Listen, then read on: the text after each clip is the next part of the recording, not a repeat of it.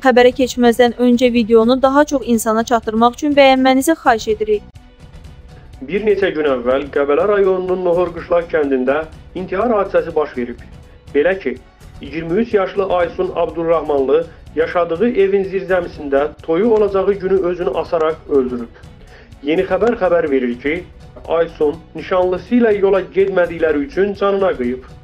Yaxınlarının bildirdiyinə görə təxminən 3 aya yaxın müddət imiş ki, Aysunla nişanlısı arasında anlaşmazlıqlar olurmuş. Bütün bunlar Aysun özünü asdıqdan sonra məlum olub. Belə ki, onun bəzi səs yazıları və mesajları ortaya çıxıb. Qeyd edilir ki, istintaq getdiyi üçün telefon hazırda polisdədir. Aysunun özünü asmağına səbəb isə ikisindən birinin bu evliliyi istəməməsi olub. Ailə də hələ bilmir ki, evliliyi istəməyən hansı olub.